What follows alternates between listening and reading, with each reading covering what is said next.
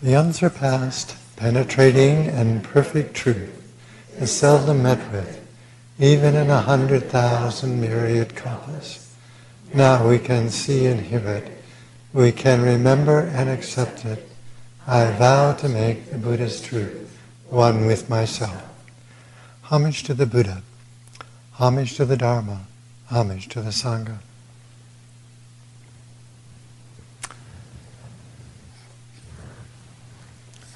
I'm going to attempt to talk about consciousness.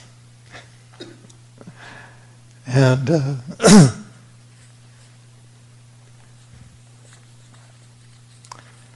also about relative truth and absolute truth. We don't talk about this very much. This, this whole book, How to Grow a Lotus Blossom, is the, the diary of Master Jiyu's uh, experience in 1976 and 77. And I've been reading a few, um, revisiting some of the people who've had near-death experiences, and they're able to see that the near-death experience is um, the same as a religious experience. Um, the problem with near-death experience is it doesn't happen very long, and people don't know what to do with it. and this Master Jiyu's experiences, it, it, goes on for months, and she has incredible teaching in here. And uh, unfortunately, we don't have this book in print at the moment, but um, hopefully, it's going to be available soon as a, a print-on-demand book. Relative truth and absolute truth. In the first chapter of the uh, the Buddha asks Ananda, "Where is the mind?" And the Buddha is asking from the point of view of mind with a capital M, and Ananda is answering with the mind of small m. So there's there's not a lot of real communication there, and he Ananda came up with about six different places, uh, or at least six. In each place, uh, the Buddha destroyed. Says, no, that's not it. well, the point is, this mind absolute mind has no location. And uh, some of the people who are studying near-death experience are they're, lo- they're looking at it and realizing that it's like um, quantum physics. The things in quantum physics, they, they can exist, but they don't have a location. And this is the same with uh, absolute truth or the Buddha mind. It doesn't have a place. It's everywhere.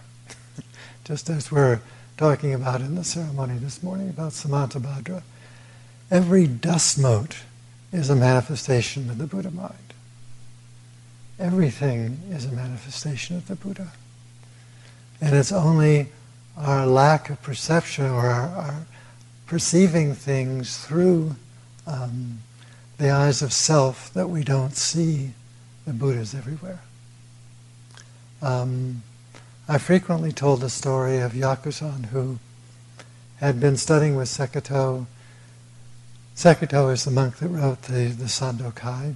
Um, and he'd been studying, I know, 20 years or something, and he wasn't getting it, and he was getting really frustrated, and he um, finally, Sekito says, go on and see my friend Baso.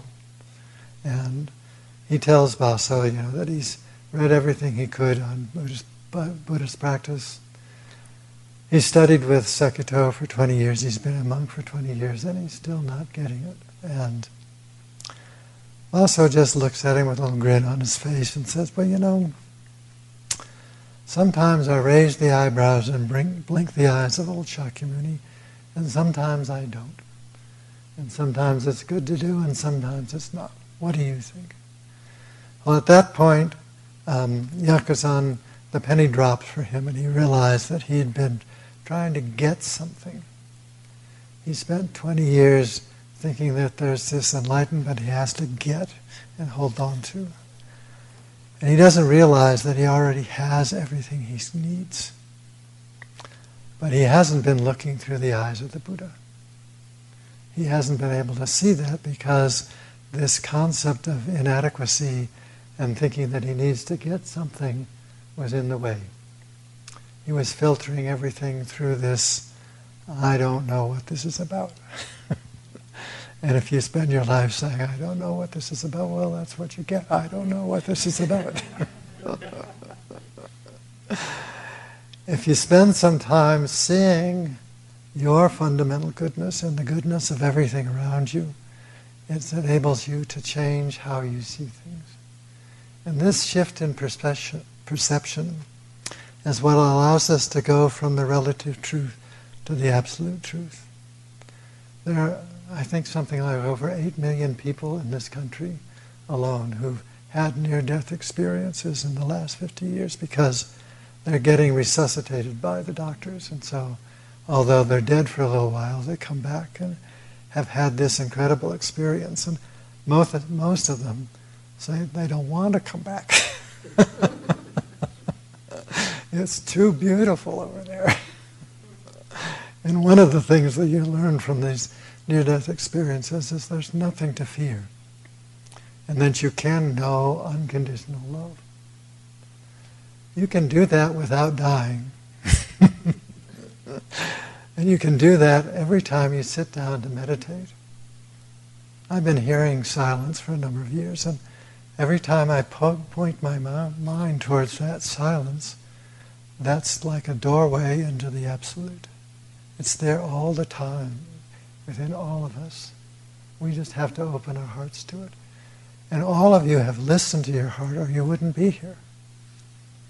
Because it's the thing that says there's something more. We've got to do something about ourselves. Somebody asked her, Master Ji one day, says, why am I still so angry?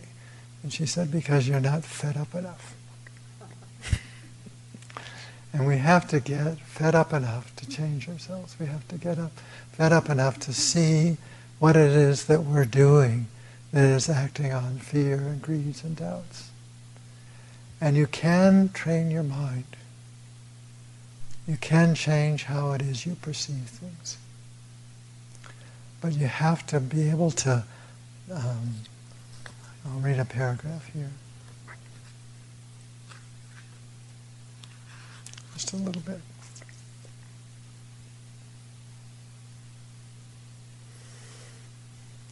The finding of the Dharma cloud as a result of going beyond ordinary religion and climbing the glass mountain takes those who are who essay it beyond isms, sects, and religious facades to that, with a capital T, that which brings total fulfillment.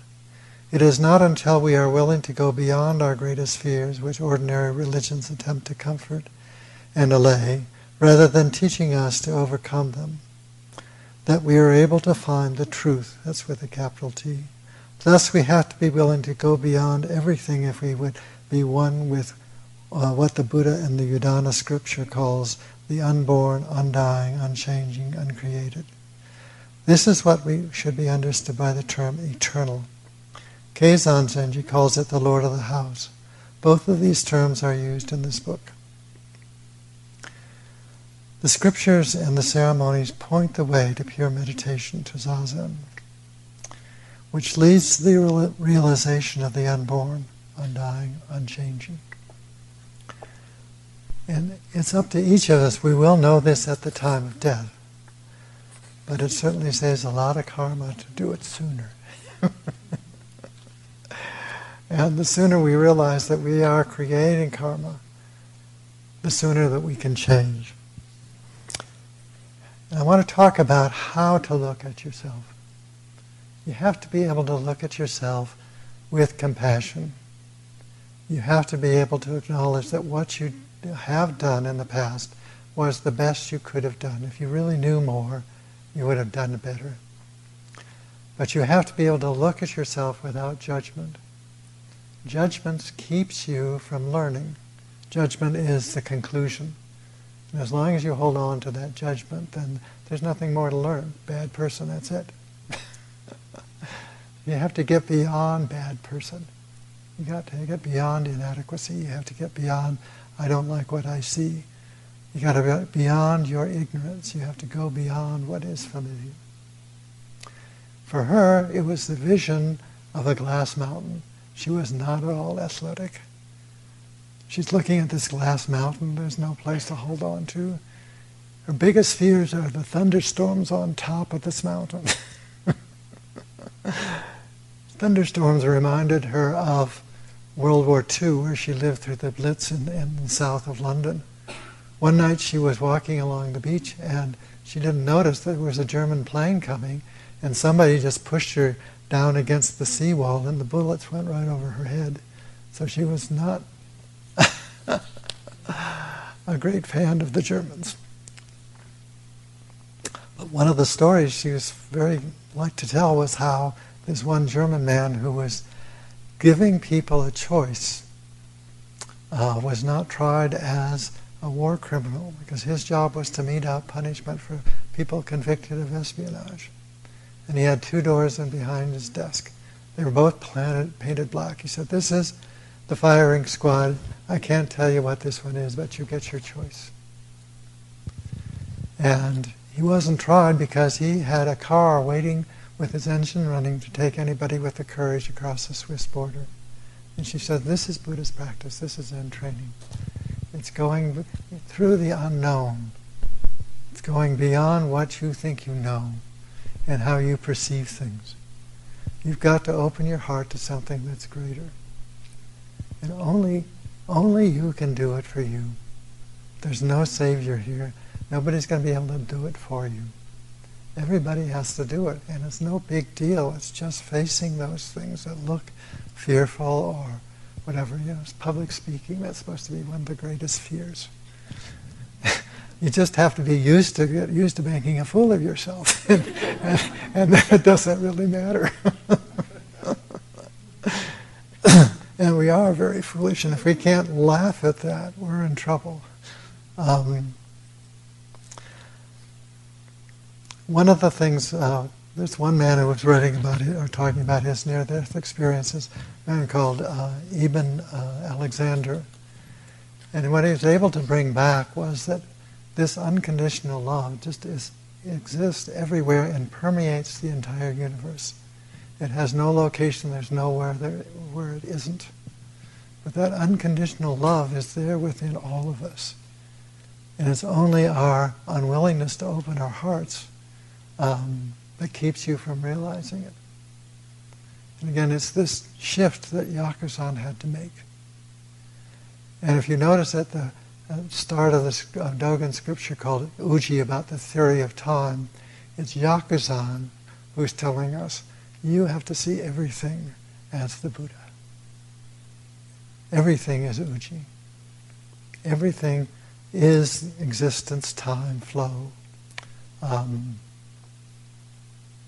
Einstein looked at time and saw that you know it could be something different than what we're used to. it could be a different thing. We could be. It could be our present over here, our past over here, our present over there. It could be in other places. And he called it uh, place time because it's the con, uh, conjunction of time and place that causes change, change in perception of time. And this changing our perception, this being able to look, requires us to look with kindness. Um, I tell, I've told this story many times, but it's the best example I have about changing perception because of judging yourself. Um, when I was seven, uh, I think the last of the goats died. I was uh, scared of the goats, especially the one with horns. But then my sister wanted to get a horse. The horse was ten times bigger than the goats. and my first reaction to this horse was, whoa. But this was a very gentle old horse, and you can ride him either English or Western. And uh, he was he'd break into five-gated things, and he, we didn't know all the things he was taught to do. Um, but one day I came home. I was eight eight years old, maybe. I came home from school. and Nobody was home, so I thought, oh, I'll go for a ride. So I put on the bridle and I put on the saddle, and I went to get on, and he, he stood on the toe of my boot, not on my foot just so that I couldn't move. and I couldn't push him away, and I couldn't get away from him. Somebody later suggested I should have taken off my boot. I didn't think of that. I just got angry. and I reached down, I could reach this little stick, and I was hitting him on the shoulder, and I was really mad. And with great dignity, he put down one knee, then he put down the other knee, and he put his head away, all the way down to the ground, and he bowed. And I could see this, literally, I could see this kind of screen coming down. This is bad person. You know, so I just blocked that whole thing out for 25 years. And my mother died when I was just before I went to England, and I did the funeral for her. And then I next week I went to to England for a year, and I was doing the memorials for her uh, for the first 49 days. And she had been very instrumental in teaching um, respect for animals. Uh, they, they my parents didn't have kids for the first seven years or so. Because uh, it was during the Depression, and so she had a cat, and the cat had a very divine place at the table. She sat in a rocking chair. Whoever got to sit next to her got to take some meat off your plate and give it to the cat. So there was a fight every night over who gets to feed the cat.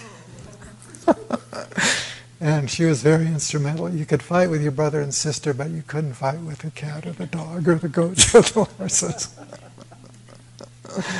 and since she had been so instrumental in this thing about respect for animals, this this incident came up, and I could see how I had judged myself as a bad person, so I couldn't learn that here the horse was bowing to me. And little boy's anger, what a perfect teaching. You know, here, here's this bodhisattva was was bowing simply because he had learned how to do this, and he was trying to help this poor little kid. Didn't know any better. And, but the judgment kept me from learning that. And as long as we're judging ourselves, we can't get beyond the judgment. We have to let go of the judgment in order to see what, how the difficulty that we're confronted with is actually an opportunity. And we don't have to avoid the difficulties, we have to open our hearts to them. And this change in perception is this all acceptance. So whatever is going on, open your heart to that. So we've had winter this time. We haven't had this for 50 years or something. and it's going on at great length, and I'm thinking, well, it's really beautiful. I'll take it. and uh, better than the smoke. And so it's this shift in perception. You, th- you think, oh, it's gone on too long. Well, it hasn't gone on too long. It's, it's just going on as long as it takes. and with the ideal comes the actual. And so what you have to recognize is that whatever is happening is the ideal. And so it's opening our heart to that. So all of that kind of criticism of somebody else or anger or whatever, training your mind has a lot to do with being able to see that you're actually holding on to a worry or a fear or a greed or an anger. And you have to recognize that and say, don't do this to yourself. Because when you do that, I was reading a Tibetan monk talking about having a conversation with, a confrontation with somebody where you get really angry at them and then the next time you see him, you still get angry at him because you remember this. And see somebody else and you start getting angry with them too. because you've just been angry at this guy that you didn't, didn't like. And if you can see how you're poisoning your mind with these worries and doubts and fears, and you say, just don't go there. You have a choice. If you see you're acting out of this karmic conditioned reaction of anger or fear, Say, look, look at yourself and say, no, I don't have to do that. I don't have to be somebody else. I just have to let go of it. She, Master Ji, liked the idea that we had the freeway here because it's cars going back and forth. Those are just like thoughts in the mind. And you don't have to set up a roadblock. You don't have to um, hitch a ride. But you're going to do those things. So you have to recognize what it is that you, you're not doing. Meditation is mostly seeing where you're not meditating. Seeing where you your mind is wandering, seeing where you've gotten tried to push things away you didn't like, or you're remembering somebody, you know, your fight with somebody last week or whatever. And you've got to see what it is you're doing to your mind. And that little wake up thing is when you're meditating. Oh, I'm wandering down the road here. Bring yourself back.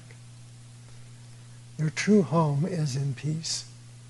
But you have to be able to return to that true home. Listen to the silence. Listen, look at whatever helps you let the mind be still. And just keep going back to that place. Listen to the heart. The heart is absolute truth, but it whispers. so you have to listen very carefully. Just like my weenie voice. if I didn't have a microphone, you'd all be saying, What's he saying? what? What? You'd think I'd get used to it and speak up. I'm working on that too. the um, one of the things that came out of the lotus blossom too was her saying not only is there nothing to fear in death, but there's nothing to fear in life. And what you have to see is if you're fearful of something, look at what you're doing. If you're doubting about something, you don't get faith because there are no doubts. You get faith because in the midst of your doubts, you just keep practicing anyway. It's just that simple. Just keep working on bringing yourself back to paying attention to what you're doing. Look at all the places where you're not meditating.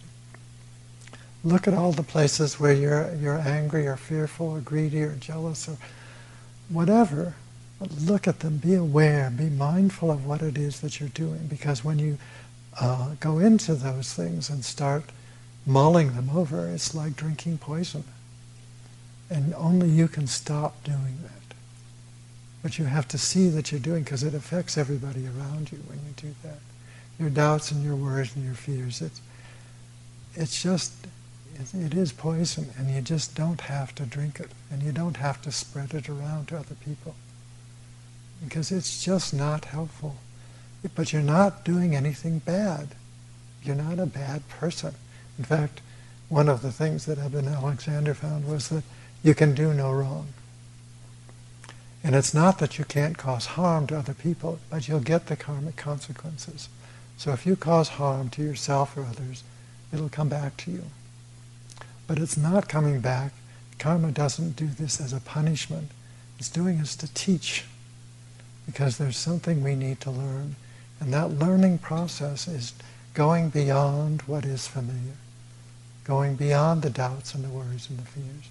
Catching yourself in the midst of being afraid of something and say, oh, it's okay.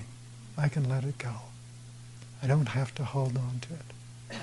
Because the source of the suffering is the clinging. You can cling to things that are wonderful, but the clinging turns into suffering. And what it is, you have to see when you're clinging. You have to see the tensions. You have to be able to, to let go, to open up to that and admit, oh, I'm clinging to my worries or my doubts or my fears. And see what it is you're doing. It. See how silly it is.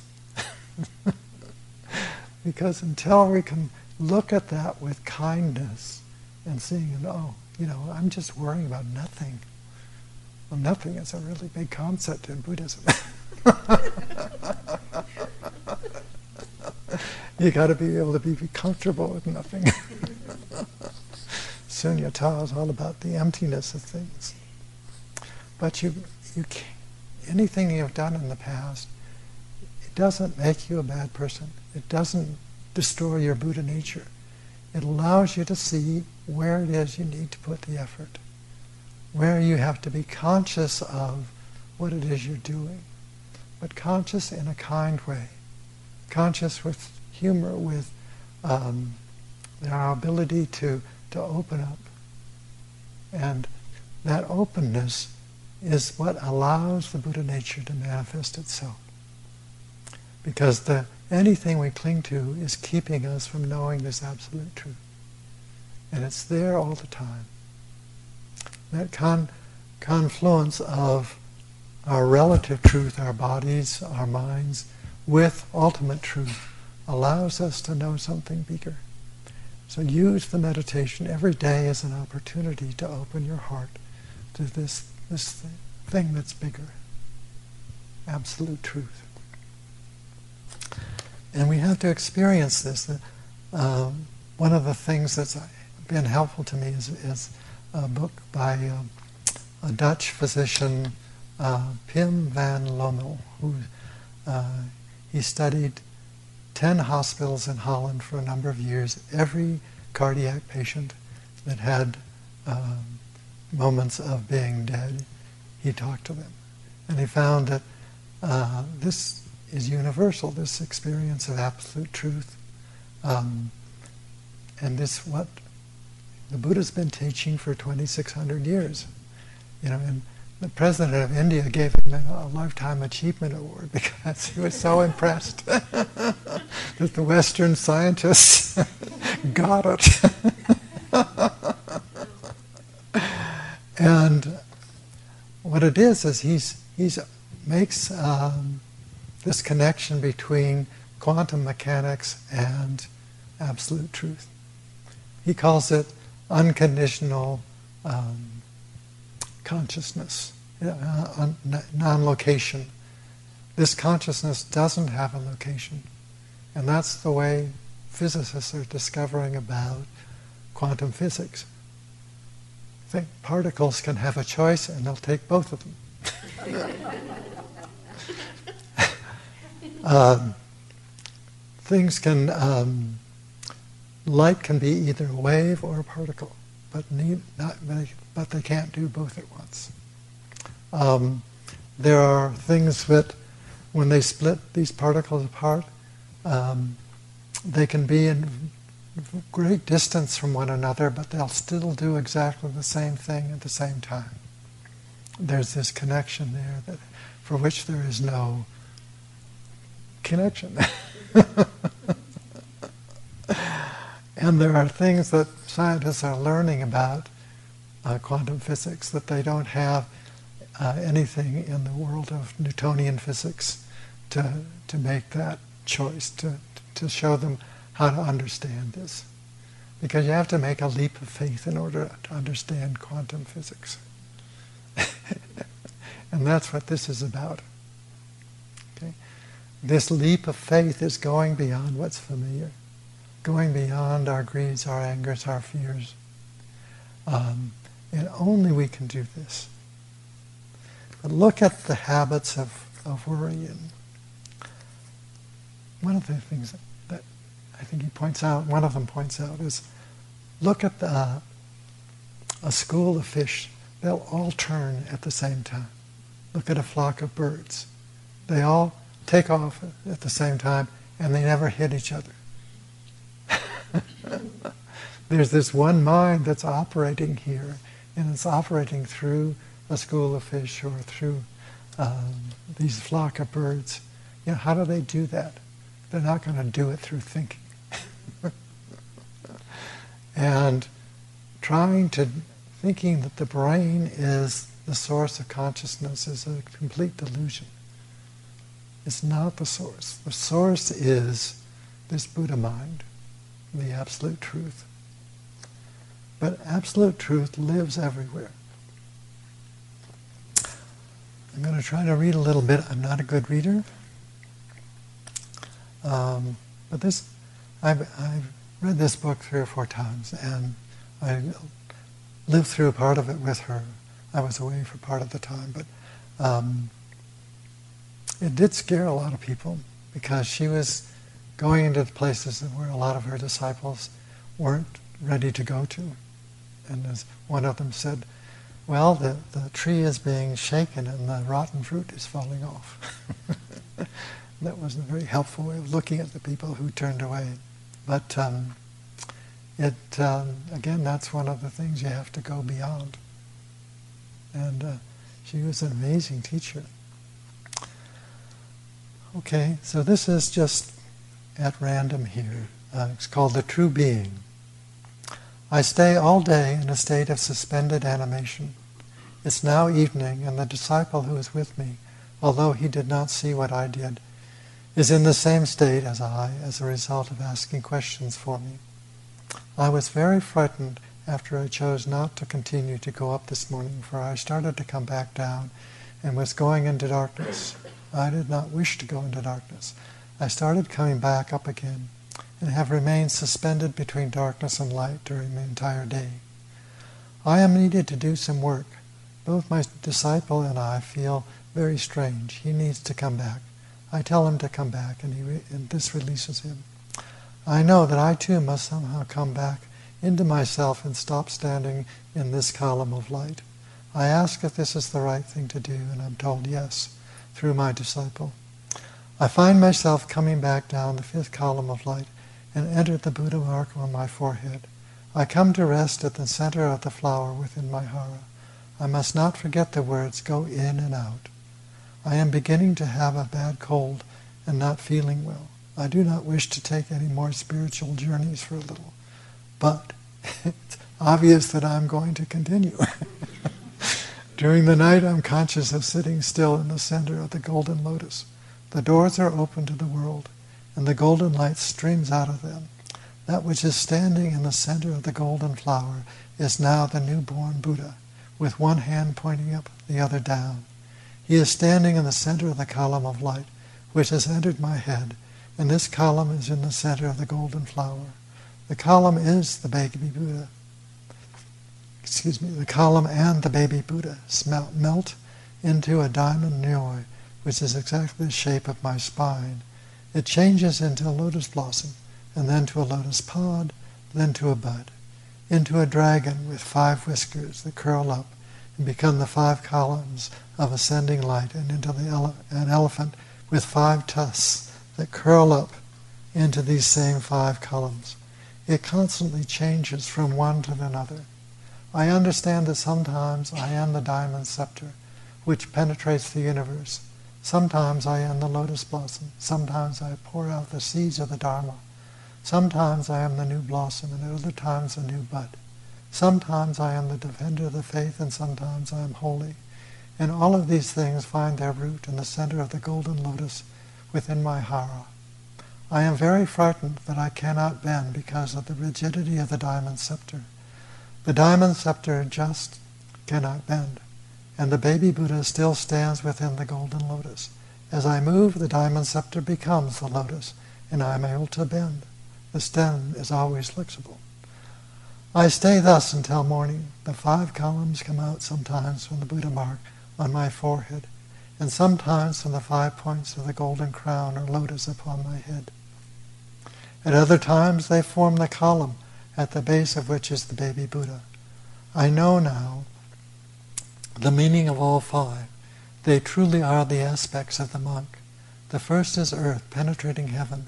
The second, the knot of eternity the third heaven penetrating earth, the fourth the putting on of the golden kesa, which is within the fountain of the Buddha's wisdom, the bathing within this radiance, the fifth the ability to die while sitting and standing, which transcends both peasant and sage, and the right to go to heaven or hell if the intention is right, to help all living things. My wish for now is just to be a monk.